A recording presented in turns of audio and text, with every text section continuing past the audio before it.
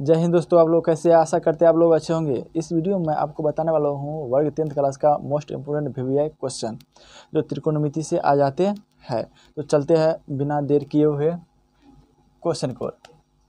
अब देखते हैं, सिद्ध करें कि root one plus sine A बट्टा वन माइनस साइन ए बराबर सेक के plus tan A sec A plus tan A है।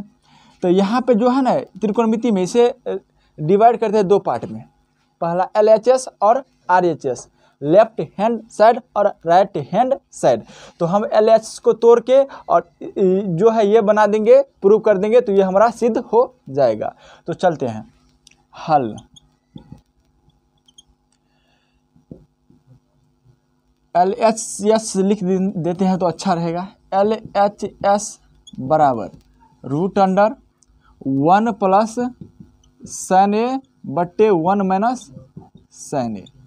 अब यहाँ पे विद्यार्थी को मतलब कि ये नहीं पता चलता कि अब यहाँ पे हम करेंगे क्या।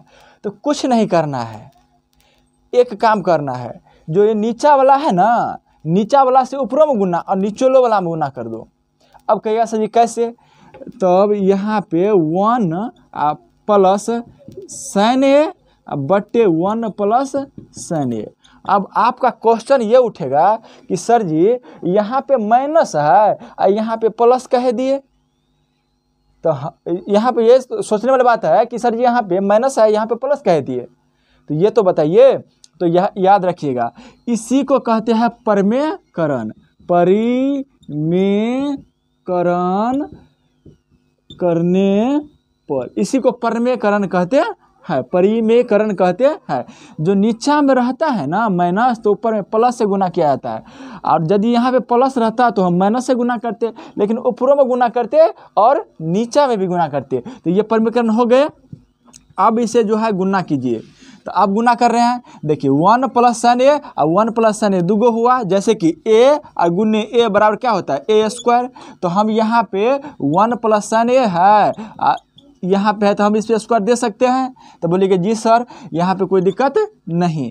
अब यहाँ पे देखिए, अब तो यहाँ पे दुगो है। One minus sine A one plus sine A तो एगो याद कीजिए कि एगो सूत्र आते हैं A square minus B square बराबर एक बार जोड़ के और एक बार घटा के। तो एक बार जोड़ के, एक बार घटा के। तो यही फॉर्मेट माने रूप में ना है ये। एक बार जोड़ल है, एक बार जो है घटाया हुआ है। तो ये जो घटाया हुआ है तो यहाँ पे देखिए वन है तो मान लीजिए ए और ई बी तो यही को, इसी को ए और माइनस बी किया हुआ है और ए प्लस बी किया हुआ है। तो हम इसे जो है इस तरह से लिख सकते हैं। तो बोलिएगा हाँ तो यहाँ पे वन स्क्वायर और माइनस ए स्क्वायर, ए दे दीजिए। अब हमारा काम जो है, हो गया। तो बोलिए कि अभी तो सवालों नहीं सिद्ध हुआ, और आपका काम हो गए हाँ हो गए अब देखिए, यहाँ पे क्या करना है? तो एक लाइन और लिखना है। और इसे जैसे है, वैसे ही छोड़ देना है। कुछ नहीं करना है, छोड़ देते हैं। और इसे जो है, अब ये एक का स्क्वायर एक ही होगा। फिक्स है? नहीं तो चलते हैं, दे देते हैं। One minus sine square A. यहाँ तक एक लाइन और बढ़ जाएगा तब। देखिए यहाँ पे। अब इतना हो गया। जैसे कि आप जानते हैं कि ये जो है स्क्वायर है मतलब दो बार गुना तो दो बार जो गुना है तो इसे एक बार लिख सकते हैं। तो इसे जो एक बार लिखेंगे, इसे दो बार लिख सकते हैं ना? तो दो बार लिखेंगे तो पर भी होगा, ऐसे लिख देते हैं। One plus sine A into one plus sine A. लिख दिए। और इसका सूत्र क्या होता है कि वन माइनस साइन स्क्वायर बराबर कॉस स्क्वायर तो कॉस स्क्वायर ए तो अब एक लाइन और यहाँ पे देखिए।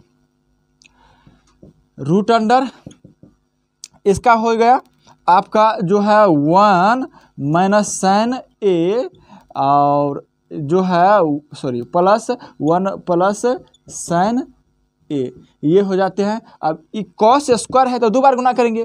तो कॉस ए गुने कॉस ए आप तो जानते ही हैं कि ये जो है बरगमूल का, जो है बरगमूल में कै गो का जोड़ा लगता है दूगो का जोड़ा लगता है।